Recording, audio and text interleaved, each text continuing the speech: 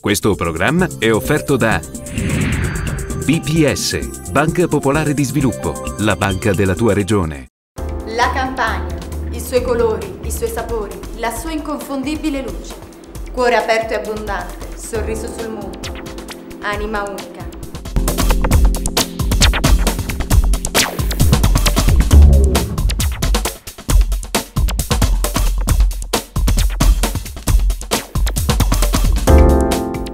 Un'isola tra le colline del Sannio, costruita a strapiombo sulla gola di Martorano.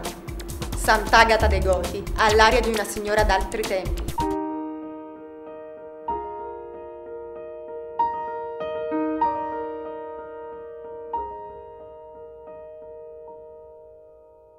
Tra le colline del Sannio, oltre alla gola scavata dal fiume Martorano, si erge la cittadina di Sant'Agata dei Goti. Una scimmia di pietra, vigile e attenta, fa da guardia scrutando l'orizzonte.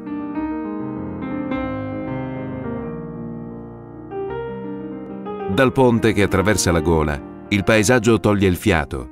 Un mosaico di case e palazzi sovrasta la lussureggiante vegetazione.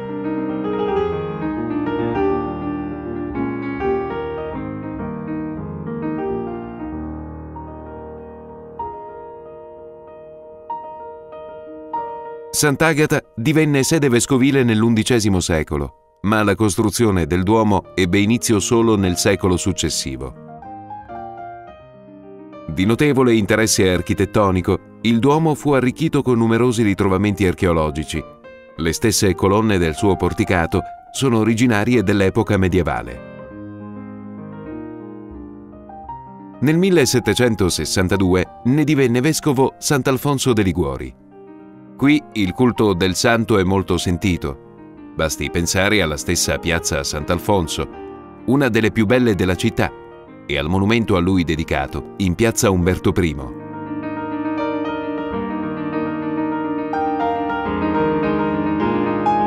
Popolata da circa 12.000 anime, Sant'Agata è una cittadina tranquilla e ordinata.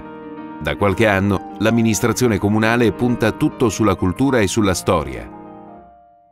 Sant'Agata ha un'anima medievale, dalla quale prende vita il Sagno Film Festival, l'unica rassegna cinematografica europea di film in costume.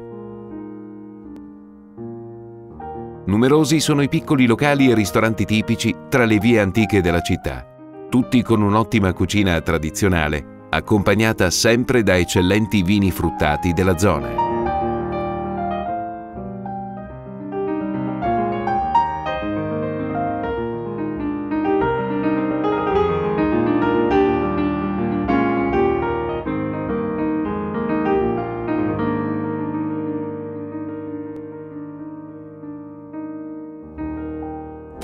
Luci ed ombre, tele grezze e pennelli, legno e terracotta.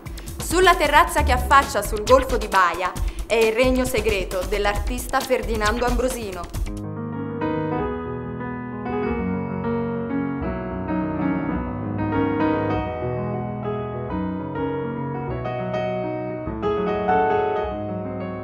Per me l'arte è la memoria delle cose viste, toccate, udite, odorate. Vedete, io sono un pittore che è nato a Bacoli e vive da tanti anni a Bacoli. Bacoli e i Campi Flegrei, è una zona mitica. A Bacoli si incrocia la cultura greca con quella romana e poi la mitologia. Eh, la mitologia è di casa qui nei Campi Flegrei. L'antro della Sibilla Cumano ha dato spunto a scrittori e a poeti di scrivere pagine memorabili. Eh, io sono vissuto in questa, in questa atmosfera, ho respirato questa cultura e quindi ho assorbito tutto quanto c'era da assorbire dalla cultura greca e romana. E quindi ho dipinto per tanti anni, inizialmente eh, il paesaggio flegreo mi ha affascinato, poi negli anni 90 è avvenuta una trasformazione, non mi interessava più il paesaggio in se stesso per quello che rappresentava, ma per quello che poteva essere nell'immaginazione dell'artista. Quindi venuto, sono venuti fuori dei paesaggi, i paesaggi della memoria, la memoria di un paesaggio, la memoria di un'atmosfera, la memoria di un'emozione. E quindi la pittura ha avuto una sua trasformazione, eh, quindi da pittura, diciamo, eh, en plein air, quindi di interpretazione di un paesaggio sia pure interessante, eh, siamo arrivati a una pittura introspettiva, dove la memoria delle cose che si sono viste, che si sono, eh, come dire, toccate, rappresenta l'elemento fondamentale del nucleo pittorico della, della mia pittura. Pur vivendo a Bacoli, però, ho, ho, girato il mondo, infatti le mie esposizioni sono state fatte in varie parti del mondo, in Sud America, nel Venezuela per tanti anni, ho fatto più di 11 esposizioni eh, anche in spazi museali, poi il Nord America nel 94 a New York, nel 2001 a San Francisco, poi ancora nel 2007 e adesso teniamo in programma una grande mostra, una grande mostra al Chelsea Museum di New York, dove l'avventura continua